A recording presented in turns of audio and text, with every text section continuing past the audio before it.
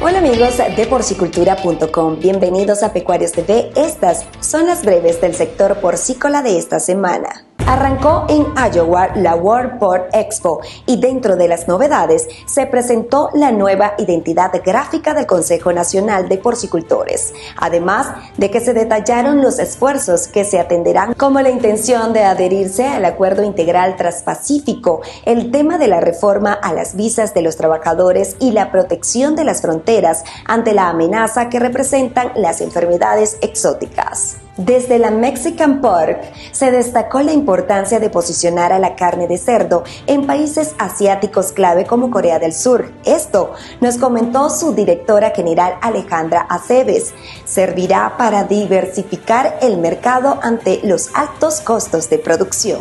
La Secretaría de Agricultura informó que trabajarán con el Estado de Colorado para reforzar la coordinación en materia sanitaria contra la influenza aviar y la fiebre porcina africana. Cifras del Grupo Consultor de Mercados Agrícolas revelaron que luego del crecimiento en el PIB agroalimentario registrado en los tres primeros meses del año, se reportó un valor total para el sector primario que se acercó a los 575 mil millones de pesos. Cifras de la consultora dirigida por Juan Carlos Anaya indicaron que las importaciones cárnicas de res, cerdo y pollo cerraron hasta abril con un alza de más del 5%, reportando algo cercano las 810 mil toneladas. Muchas gracias por acompañarnos en las breves del sector porcícola. Nos vemos la próxima semana.